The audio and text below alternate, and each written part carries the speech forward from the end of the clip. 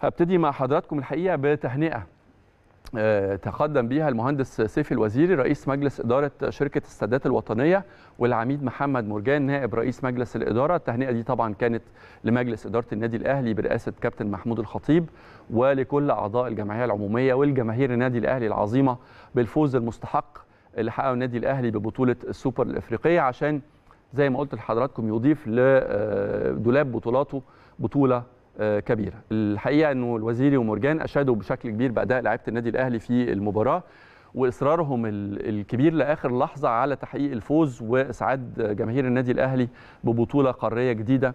وأكدوا الحقيقة في الوقت نفسه إنه آه، في دعم كبير لفريق النادي الأهلي ولكل الفرق المصرية اللي بتشارك في بطولات إفريقية ودولية عشان آه، نواصل مسيرة الإنجازات اللي بتحققها الرياضة آه، المصرية. كمان مجلس الإدارة آه، مجلس إدارة شركة السادات الوطنية آه، كان آه، حريص الحقيقة واتكلم على تتويج النادي الأهلي باللقب ده بيضاف لسل سجل إنجازات الرياضة المصرية الحقيقة في الفترة الأخيرة بتشهد طفرة في كافة اللعبات سواء جماعية أو فردية.